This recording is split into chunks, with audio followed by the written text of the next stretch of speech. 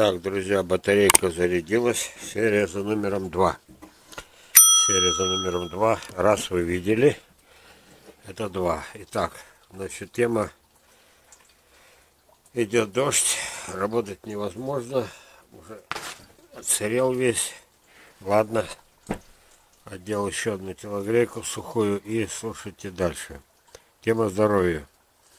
Это советы Железова или советы бывалого моржа, который не сразу стал моржом. Вот, но захотелось жить. А мне было 34, 35. Вот, были все признаки близкого конца. Так, значит, по порядку. Э, не самая страшная болезнь это шпора на шпора на пятки. Что такое шпора, вы знаете. Это нарост э, соли, болезненный нарост, который пробивает, э, пробивает мясо, мяси, мясной этот самый участок за счет того, что он острый. Э, таблетки не помогли, лазер не помог взялся лечиться сам. Два тазика. В одном очень горячая вода на грани терпения, на втором фактически ледяная вода, какая у нас в кране она и была. В Саяногорске в кранах ледяная вода. Итак, два тазика. Секунд 20-30 в кипятке, в горячей воде. Потом переношу обе ноги, на всякий случай обе, не только больную обе ноги в тазик с холодной водой, с ледяной.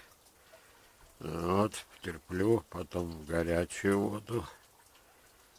Все на пределе, и та, и другая вода супер холодная, супер горячая. На пределе терпения. Вот. И так несколько раз. Постепенно горячая вода становится теплой, а, э, а ледяная вода становится менее ледяной и через несколько минут сеанс заканчивается. Примерно через 5-6 вечеров с погружением туда-сюда исчезает и навсегда. Это было мне 40 лет, сейчас 73. И навсегда, и без всякого лазера я вылечился. Потом меня благодарила, помню, женщина, которую я подсказал, как это делать. И так я это назвал «Секрет двух тазиков». И описывал, и даже помню, как мои секреты присвоила себе некий лунный календарь, который вышел в количестве 150 тысяч экземпляров. Хорошо ребята заработали. Я увидел там свою статью под названием «Время, проведенное в саду, не засчитывается в срок жизни» все секреты оттуда. Кто со мной дружит, пожалуйста, значит, я могу выслать эту статью. Если обратитесь ко мне через этот интернет. Так, секрет за номером два. Итак, значит, голова. Сильнейшие приступы головной боли на грани инсульта у меня уже были в Норильске. На Норильске климат такой, что перепады давления, резкие смены – атмосферное давление сильное и сказывалось на голове. Что такое головная боль в мозгу? Это значит, что там уже есть участки, непроходимые для крови. И вот особенно а к 40 годам, а, не, меня тогда еще 34 не было, и уже тогда были страшные головные боли, невыносимые. Я просто перетерпевал. Все. Даже к врачам не ходил. Когда я приехал сюда, мне помогло то, что в кране была очень ледяная вода. Ну и, само собой, во втором кране была вода на грани кипятка. Значит, к тому времени я практически расстался со своей э, шевелюрой. Поэтому мой совет для тех, у кого нет шевелюры или короткая стрижка. Вот, особенно хорош тем, что каждое утро я подставляю голову под очень горячую воду, жду, голова насыщена и очень быстро перегревается за счет того, что 50% всех кровеносных сосудов организма находится в голове. Мгновенно нагревается, перегревается, потом ледяная вода, ну, фактически тоже, что в тазиках, только на этот раз без тазиков. Голову в тазик не засунешь, под струю. Вот, стою с наклоном и под струю. Потом снова регулирую, делаю очень горячую воду, потом снова ледяная вода. Ну, там секунд 10 20, тут секунд 10-20, несколько раз. Все, прошло несколько, некоторое время, я с удивлением заметил, что начиная с этих 40 лет и до 73 ни одного случая заболевания, просто головной боли, все, исчезло навсегда.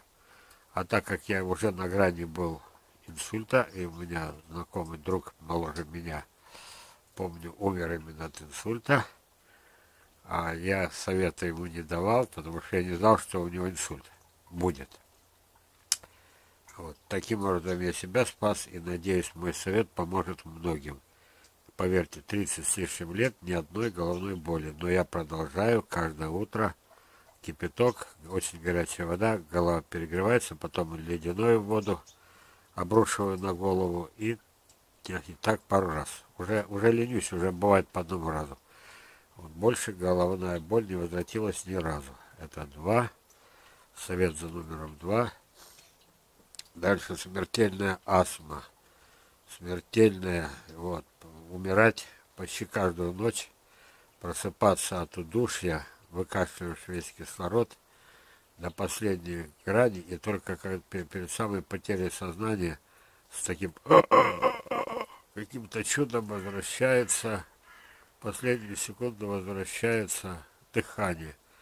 Вот, вот этот ужас переживания смерти, и неоднократный, а десятки раз. Надоело. А рядом Енисей, который зимой не замерзает, но имеет температуру, ну, считается плюс один, плюс два, но, но дело в том, что в заливчике, где я купался, там ледок стоял, то есть, ну, ноль считаем.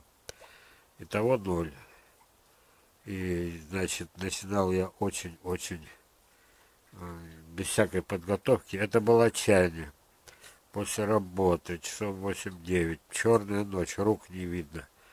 Подхожу к берегу, раздеваюсь, обыкновенная одежда. Просто раздеваюсь, со мной кроме полотенца ничего нет. Раздеваюсь до плавок, на берегу ни одного человека, босиком, а там еще и эти любители очень много бросали битых бутылок, любители этих, как их назвать-то, любители отдохнуть на берегу. Вот. И заходил в воду, рискуя, страшно. Э, еще и ноги искалечить. Заплывал, меня сносило метров на 50 на 100 вниз. Шел по берегу, к этим, прилипали к камушки примерзали к пяткам, возвращался кое-как, доковыливал до одежды, вот, стуча зубами, одевался, ночь растирался, одевался, вот, но так как я еще и этот самый, с каждым днем я, с каждым разом я улучшал себе комфорт, например, я начал приходить, машины еще не было, начал приходить туда э, с, буквально с третьего-четвертого раза уже э, на мне уже не было ни одной пуговицы. То есть я одевал вместо рубашек и брюки одевал двое теплых спортивных штанов без пуговиц, без ширинки, извините за выражение. Одевал два свитера, а потом уже телогрейку. Вот, потом появился автомобиль, я привозил с собой, это было еще больше комфорта. Вот, и мне уже становилось легче, и уже прекращались эти самые, прекратились приступы астмы, но я должен был закрепить успех. Я приезжал на девятке, под фарами, включенный фары, двигатель, я раздевался, делал те же самые заплывы, но заплывал я в теплых носках. Почему? Чтобы не травмировать пятки. уже в теплых носках. Заплывал, остальное тело голое, кроме плавок. Вот, выныривал, а, перестал это, стаскивать меня течение вниз, перестало, потому что я только делал, заплывал метров на 10, там течение, и против течения греб, греб, греб, греб, греб, греб, как бы согреваюсь. И поэтому мне удавалось вернуться на то же самое место, где я делал заплыв. Быстро выскакивал на берег. Дальше хватал, уже лежит на готове этот самый теплый халат. Я накидывал его на плечи. Ноги сувал валенки в сухие. Вот эти мокрые ноги, сухие валенки. До этого я наступал просто на тряпку. Предыдущие разы сухие валенки – на голову, на, на мокрую нахлобучивал, я нырял-то с головой, на мокрую голову нахлобучивал шапку, вот, и уже с комфортом тут же проходил весь холод, тут же. И уже растирался под халатом, растирался сухим этим самым полотенцем полностью, и уже дальше уже так не хотелось одеваться. Все, никаких этих ужасов первых заплывов, когда я этот синий от холода, стуча зубами, не мог застегнуть на себе ту же рубашку. Вот, это все прошло, и уже стоишь, дышишь полной грудью. Вот, потом еще момент дополнительно. Как я избавился от ужаса э, заплыва, потому что первые разы, когда я приходил, я уже, было 30-35, я уже замерзал, подходя. А мне еще надо было раздеваться, долго раздевался, еще больше замерзал. И ледяной буквально заходил в воду, синий от холода. Вот. Как я это? Я научился где-то со второго-третьего раза делать прямо в телогреке, делать, а, а, как называется, такую утепляющую зарядку. То есть быстро-быстро, ноги 3-4, 3-4, ноги шире, значит, машу руками, машу ногами, приседаю. И только когда, будучи полностью одетый, я чувствовал тепло, внутри тепло, то есть тело нагревалось, даже перегревалось, чуть даже до пота почти. Вот. И тогда я уже раздевался, и уже, знаете, как король, я уже все, я уже не, не, не лихорадочно, скорее бы залез, скорее бы вылезти. Я начал с третьего, четвертого раза получать удовольствие. Еще до того, как у меня появились эти самые валенки, до того, как у меня появилась добавочно халат и шапка. Вот, я до этого уже, будучи перегретым, быстро, спокойно раздевался, ну, уже спокойно раздевался, делал заплывы, и уже не, не было никакого зловещего мерзлого состояния. Вот, на, на грани это самое судорог уже не было. Вот. И как 10-20 раз потом появляется компания у меня. Нас уже несколько человек. Вот. И мы спокойно, и мы уже страхуем друг друга, потому что все-таки это Енисей, это течение, это, э, ну, все-таки это стресс. И вот нас уже несколько человек, и рассказываю, э, это, у меня еще есть несколько советов. Ну, пока хватит, а то устали, наверное. Рассказы про... Э, появились когда. Нас было очень мало поначалу. Потом уже крещенские морозы, крещенские заплывы стали модными позже. А в то время, я помню, мы четверо приходим, и приезжаем на автомобиле, машину ставим носом к берегу, галогеновые фары, очень мощные, тогда это модно было, на девятках появились галогеновые фары. Вот, все видно как днем, нас четверо, мы раздеваемся, мы искупались, появляется семейная пара. Раздевается муж, остается в одежде, рассказываю как анекдот. Жена раздевается полностью до гола, он ее прикрывает э, этой же самой курткой, она полностью до гола снимает себе все, трусы снимает, лифчик, все. Такая красавица, такая, знаете, полная женщина – чисто русская, вот, раздевается до гола и идет в воду.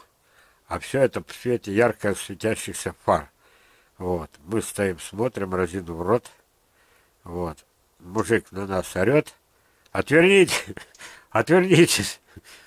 Зачем она полезла могла же спокойно залезть туда в это, в купальнике, да, как все нормальные люди. Нет, с одной стороны, надо раздеться до гола, во-вторых, ее, эту самую, э, чтобы мы ее не, не видели, мужик закрывает халатом, но он ее проводил только до кромки воды, дальше воду-то не полез, он полностью одетый, и она во всей красе, это, слепя нас, это буквально голыми ягоди, ягодицами, жаль, не было фотоаппарата в то время, не было телефонов, чтобы заснять всю эту красоту. Вот, как, как это нимфа, которая заходит э, в воду, вот. А, и, ну, поняли, да, посмеялись. А теперь еще один раз, э, это тоже уже, дальше я перевожу в шутку. Ну, чтобы вы иногда включали мой канал. Еще один случай, который мне просто рассказали, когда э, э, это был экспромт, то есть мы увидели эту порнографию живьем, и все, все были приятны, э, всем мужикам, нам, нас было три мужика, одна женщина, моржи. Вот. А случай, который рассказал кто-то во время, когда появилась гласность, когда наконец по телевизору начали показывать голых женщин и, ну, и снимать их кино, якобы была такая сцена.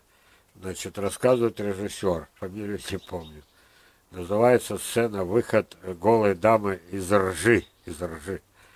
Вот. И вот они, значит, на краю колхозного поля остановились, съемочная группа готова.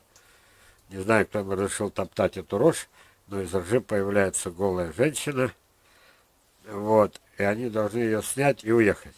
И в это время вдруг появляется скрип тормозов, а рядом дорога, шоссе, останавливается машина, и пассажиры, выскочив, смотрят, как она появляется, голая женщина из ржи. Съемочная группа «Стоп», не снято, вот, дама ойкнула, которая выходит и рожи с голой этой грудью и прочими. Вот. Значит, и опять прячется в это самое, в ржи, ойкнув. Вот, съемка сорвана. Значит, подождали, пока машин не было. А, опять она появляется ржи. Значит, кадр номер там 2 или 8. Опять съемка. Опять она появляется ржи. Опять скрип тормозов опять машина и не одна. Вот. И так несколько раз она опять стесняется. Если бы не стеснялась бы, съемки бы закончились. Она опять прячется в ржи. Время идет, все срывается. И, наконец, ну, еще вроде подловили момент, машин нету. Вот. И вдруг, это самый последний момент, когда она выходит ржи во всей красе, вдруг раздается скрип тормозов, удар, машина лежит на крыши, то есть колесами кверху. Вот это и была первая попытка заснять голую женщину, э, выход из ржи для кинофильма, когда появилась мода на, голых, на голые съемки. И об этом рассказал режиссер. А я вам рассказываю это просто так, потому что сейчас закончится съемка сама. Сильно моргает э, аккумулятор. Вот, я надеюсь, вас и повеселил, и рассказал еще раз. Шпора, раз, вот. Можно вылечить. Секрет двух тазиков. Можно вылечить голову, избавиться от инсульта на, на 30, как я, на 30-40 лет вперед. Избавиться от инсульта. Повторяю, избавиться от инсульта. Пожалуйста, не, не пренебрегайте такой возможностью. Кипяток, холодная вода, кипяченая, горячая вода – меняйте то же самое. Вот. Вода волшебная. Ну и, наконец, я избавился от смертельной астмы, заодно и от бронхита с помощью заплывов зимой. Ну, если избавиться, я вас получил, как избавиться от этого. Я начал с дикого купания, рискуя жизнью, в отчаянии, а закончил уже вполне культурным купанием, когда можно некоторый э, комфорт обеспечить себе, придя делать заплывы в ледяной воде. Благодарю за внимание.